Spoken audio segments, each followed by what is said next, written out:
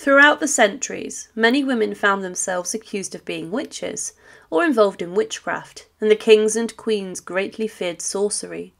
Henry VIII would sentence Elizabeth Barton to death for prophesying the king's death, and the Tudor monarch believed she was also a witch.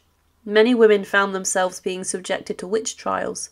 For example, some were dunked in water, and if they survived their ordeals, then they were sentenced to death anyway.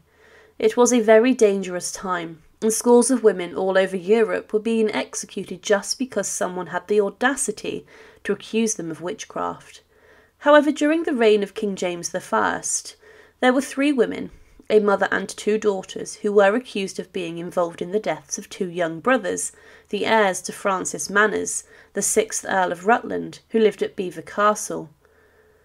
However, what is their story? Joan, Margaret, and Philippa Flower later became known as the Witches of Belvoir, and were known in the local area to have been herbal healers, and they were suffering financially at the turn of the 17th century.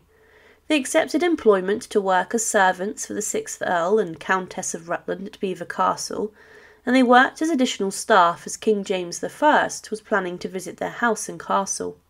However, the sisters and their mother were very unpopular with the other staff, and they faced accusations of theft and poor behaviour, and all three of them were sacked.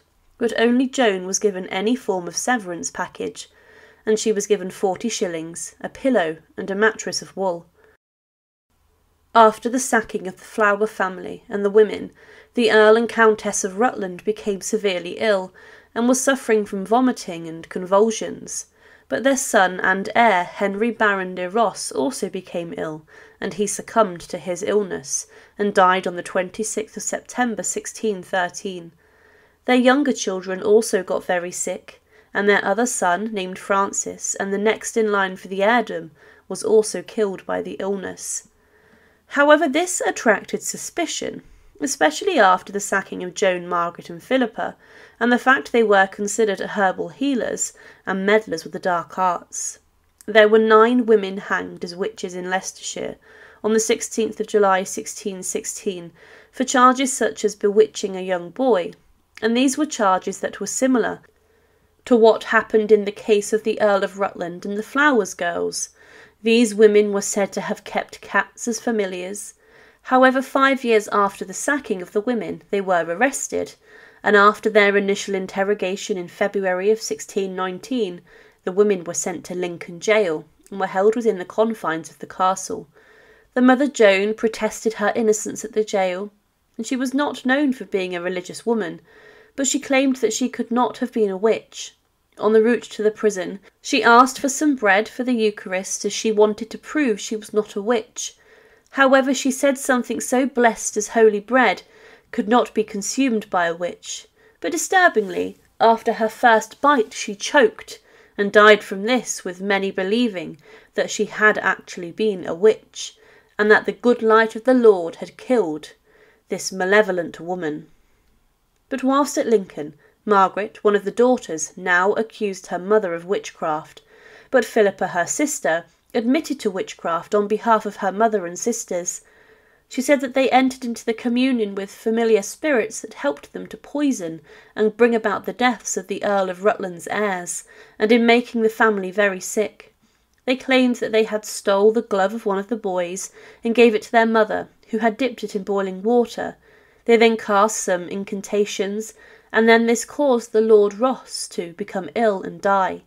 They admitted that they attempted to harm their daughter, Lady Catherine, and that this failed, after a cat named Rutterkin, their mother's familiar, had no power over her.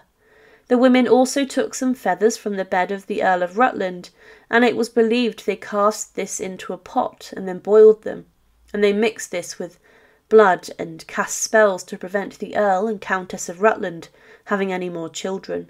Both of the women admitted to experiencing visions of the devil. But during their interrogation, they revealed the names of other women from the local area that helped them.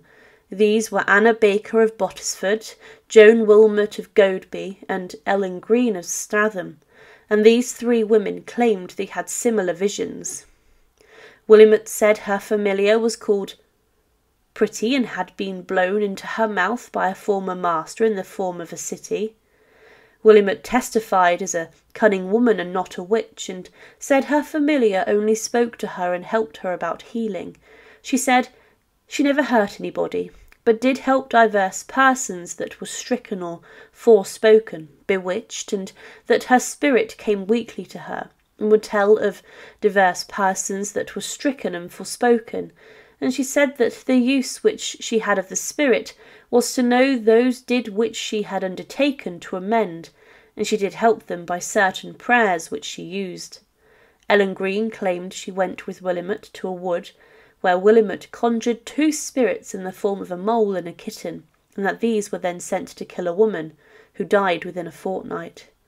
However, Margaret and Philippa Flowers, who tried before Henry Hobart, the Lord Chief Justice of the Common Pleas, and Edward Bromley, a Baron of the Exchequer, the pair were both found guilty.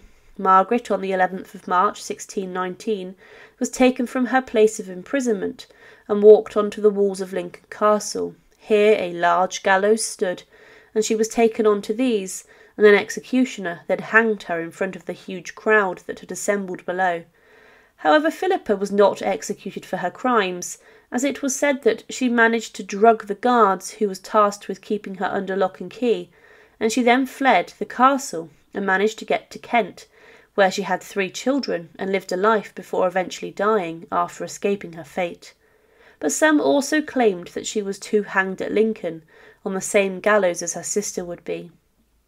But the case of the three witches was incredibly shocking, as it also involved many more women, and the Earl and Countess of Rutland believed so much that their sons had been killed by witchcraft that this was inscribed in their monument at a local church. It read, In 1608 he married ye Lady Cecilia Hungerford, daughter to ye honourable knight Sir John Tufton, by whom he had two sons, both of which died in infancy by wicked practices and sorcery. Some historians have claimed that the women were framed, and that in fact the family were poisoned. The story of the witches of Belvoir is a strange one, and it's not known how much of the interrogations of the women were extracted through threats or even torture, it would be strange if all of the women involved admitted their actions years after the deaths of the two sons, but at the heart of this was a number of women who were being accused of witchcraft during a very dangerous time, in which the English king, James I himself, was obsessed about the subject of witches. They could have been women who themselves were accused of crimes and had little way of getting off the charges, and their testimony could have been falsified and they could have in fact been victims themselves. Thank you for watching and to support, please subscribe to Her Remarkable History. Thank you.